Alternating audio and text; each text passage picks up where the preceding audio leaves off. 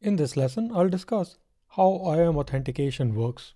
You will learn about the relationship between the Postgres role and IAM policy.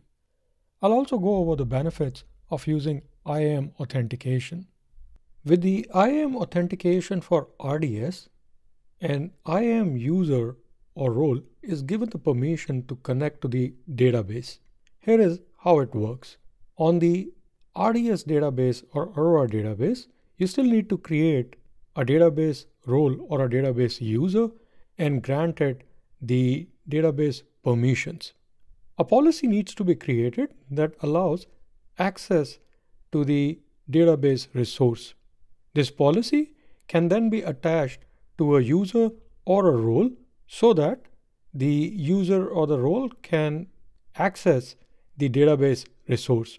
Important thing to keep in mind here is that the policy does not have the granular permissions for the database objects. The DB object level permissions are still managed by way of grant and revoke in the database. The IAM user or role with appropriate policy can generate an authentication token. This authentication token may be thought of as a password, but unlike a password, token is not static. It changes with every call.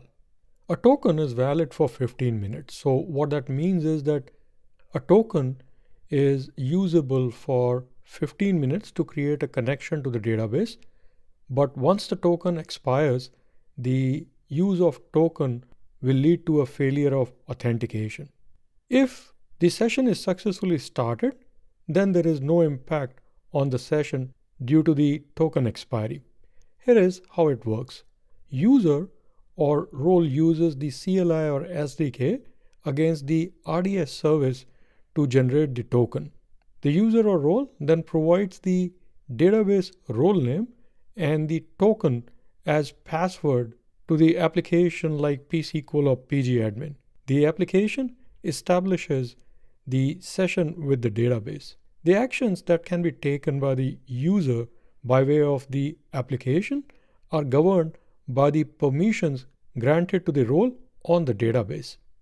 In a typical Postgres setup, permissions are managed by way of standard roles. For example, in a simple scenario, there may be only three roles, one for application, another one for admins, and a third one for support. Each of these standard roles will be granted appropriate permissions for the database objects. Since multiple users and apps need to access the database, Postgres admins may create individual database roles for access to the database. For example, there may be a role for database administrator, database support, and for the application.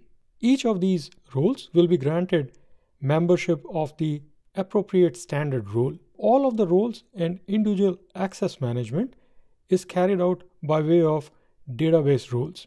Typically, a person in the role of database administrator is responsible for roles management on the Postgres database. Now, if we were to use IAM authentication, this setup will change. Let's discuss how this will look like if IAM authentication is in use.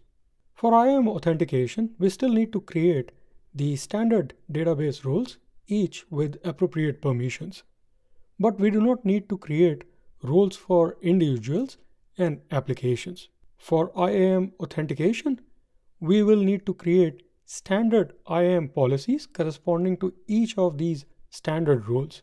So in this example, we will have three IAM policies, application policy, admin policy, and support policy. These policies have the allow permission for accessing the appropriate resource on the database. Resource here refers to the standard roles defined on the database.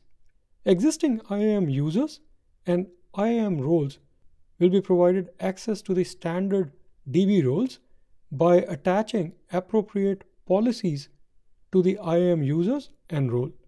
So the application policy may be attached to the application role and the application will then be able to generate an authentication token and use the standard DB role name, application role, to connect to the database. Similarly, admin and support policies may be attached to the individual users. With this kind of setup, it is possible to manage all of the IAM and DB credentials centrally. It becomes convenient to manage changes to the roles and to create new roles. For example, if an individual in the role of admin also need to take up a support role, then it's just a matter of attaching the support policy to their IAM user. New roles may be created without the need for logging into the database. For example, let's say there is a need for a new role for support automation. Then this role may be created with support policy attached to it.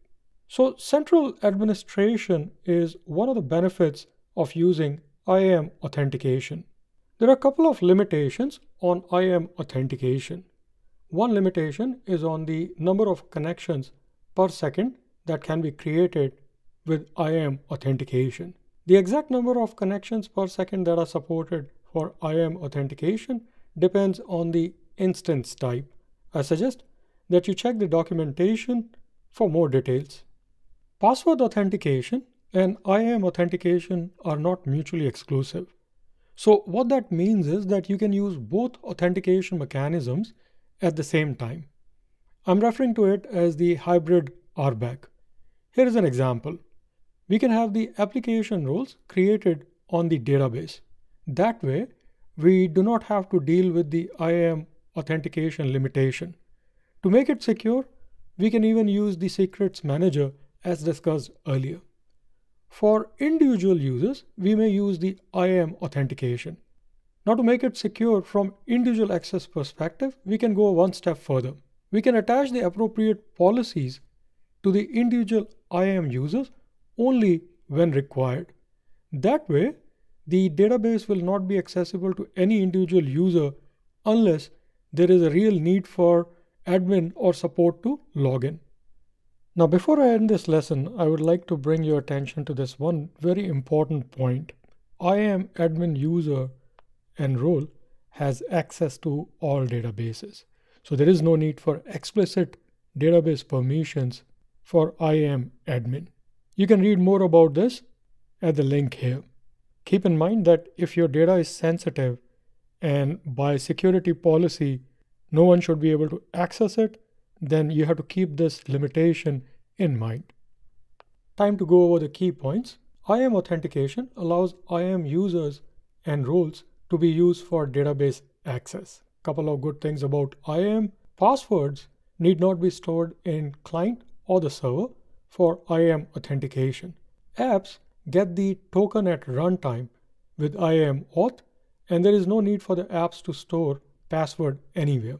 IAM authentication makes it possible to carry out centralized access and credentials management for applications, users, and databases.